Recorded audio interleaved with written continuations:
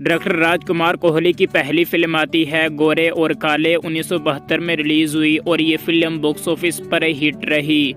उन्नीस सौ तिहत्तर में इनकी फ़िल्म आती है, कहानी हम सब की और ये फ़िल्म बॉक्स ऑफ़िस पर एवरेज रही।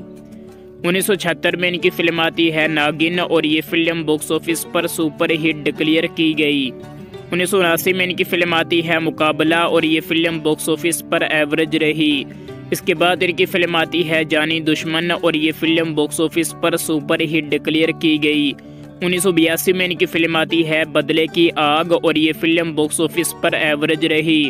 उन्नीस सौ तिरासी में इनकी फ़िल्म आती है नौकर बीवी का, और ये फ़िल्म बॉक्स ऑफ़िस पर हिट रही। उन्नीस सौ चौरासी में इनकी फ़िल्म आती है राज तलक, और ये फ़िल्म बॉक्स ऑफ़िस पर सुपर हिट डिक्लेयर की गई। उन्नीस सौ चौरासी में इनकी फ़िल्म आती है जाने नहीं दूँगा, और ये फ़िल्म हिट रही। उन्नीस सौ सतासी में इनकी फ़िल्म आती है, इंसानियत के दुश्मन, और ये फ़िल्म बॉक्स ऑफ़िस पर सुपर हिट डिक्लेयर की गई। उन्नीस सौ अठासी में इनकी फ़िल्म आती है, इंतकाम, और ये फ़िल्म फ्लॉप रही। इसके बाद इनकी फ़िल्म आती है, साजिश, और ये फ़िल्म बॉक्स ऑफ़िस पर एवरेज करार दी गई।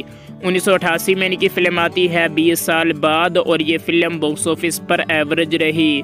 1990 में इनकी फ़िल्म आती है पति पत्नी और तुआफ और ये फ़िल्म बॉक्स ऑफ़िस पर फ्लॉप रही।